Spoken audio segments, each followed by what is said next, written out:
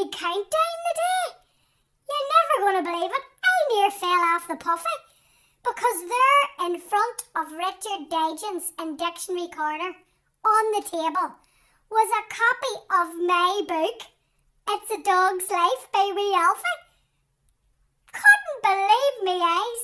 Apparently, Richard just loved my book and he took it with him on countdown to keep him company.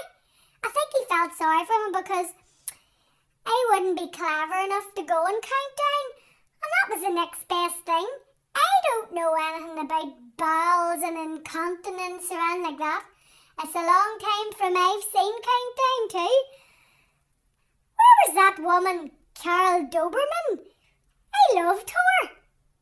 Anyway, seeing as I'm on the tally again, just in case Ant and Dec has seen me today, I'm telling you this.